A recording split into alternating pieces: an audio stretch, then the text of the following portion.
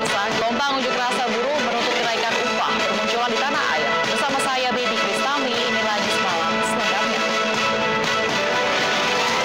Selanjutnya pemirsa, seorang bocah perempuan ditemukan meninggal dunia di dalam karung dengan kondisi mengenaskan. Jasad korban ditemukan di belakang rumahnya sendiri dalam kondisi terikat.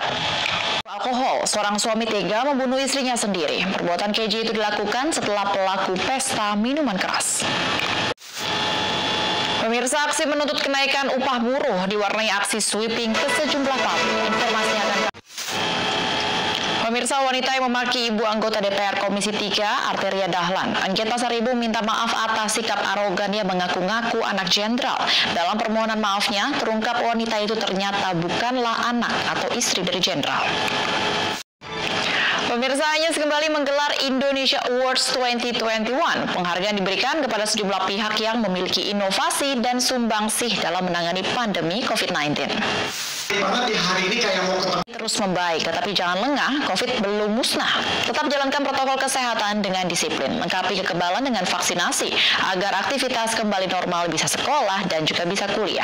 Aktivitas bisa berjalan, ekonomi bergerak. Untuk Indonesia sehat dan tangguh, ayo pakai masker dan ayo cepat vaksin. Pemirsa ancaman radikalisme maksud kami di Indonesia sudah semakin mengkhawatirkan. Aliran ini bahkan disinyalir telah masuk ke dalam institusi pendidikan dan keagamaan. Untuk itu perlu peran seluruh elemen masyarakat untuk mencegah masuknya paham radikalisme di tanah air. Tunggal putra Indonesia Jonathan Christie melenggang ke babak kedua Indonesia Open 2020.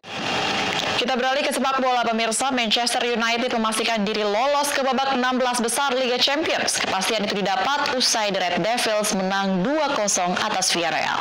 Pemirsa, informasi ini sekaligus menutup Anyus Malam. Untuk mencegah penularan COVID-19, selalu pakai masker dan cepatlah vaksin. Masker terbukti menekan resiko penularan hingga 80% dan vaksinasi meminimalisir resiko kematian hingga 73%. Untuk itu, ayo pakai masker dan ayo cepat vaksin. Masker dan vaksin adalah dua sejoli pasangan serasi di masa pandemi, menjaga kita tetap sehat dan bahagia. Saya Baby Kristami dan kerabat kerja yang bertugas undur diri. Terima kasih, sampai jumpa.